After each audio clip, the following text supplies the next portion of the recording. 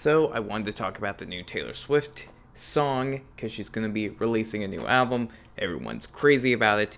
Everyone's going nuts. And what do I have to say about it? Well, honestly, after hearing the song multiple times, I wanted to make sure I really got the gist of everything that maybe people are feeling, and I'm not feeling it. I really like the positive message of the song, basically saying more about being you, I guess, and not just conforming to someone's wants and needs, I guess. But after that, it's it feels so typical. I I couldn't get into it. It just to me felt like they were trying to incorporate Panic at the Disco's last album sound with a Taylor Swift sound.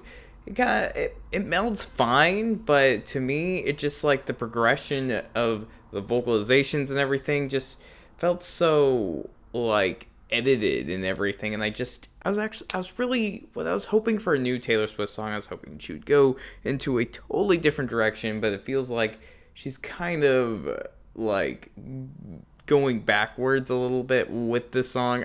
Usually honestly the singles for taylor swift have never been her strong suit. It's always the other songs so I'm looking forward to the album for sure. I mean, I didn't mind her last album, Reputation, and I sure as heck did like 1989. I'm pretty sure that's the name of the album, but that album, fire, man, fire. And of course, Speak Now is probably one of my personal favorites. But honestly, the productions on this are just so over the top, and it's supposed to be. I mean, have you seen the music video? I love the aesthetic of the music video and the the music around it definitely feels like it's a part of it you know? It's just it's just it doesn't it doesn't scream this is a great song. This is like something that we worked endlessly hard on. But i know taylor swift's capable of way more but this is an introduction to a new, like, more bright version of Taylor Swift, then okay, fine, whatever. I'm down for whatever she puts out.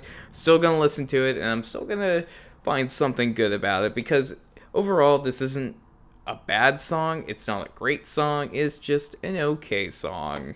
And honestly, Brendon Urie doesn't add that much to the song. I'm just saying, he just it feels like he's more of a background noise, if anything. It's like I came for T Swift. I mean, Brendon Urie's okay, you know.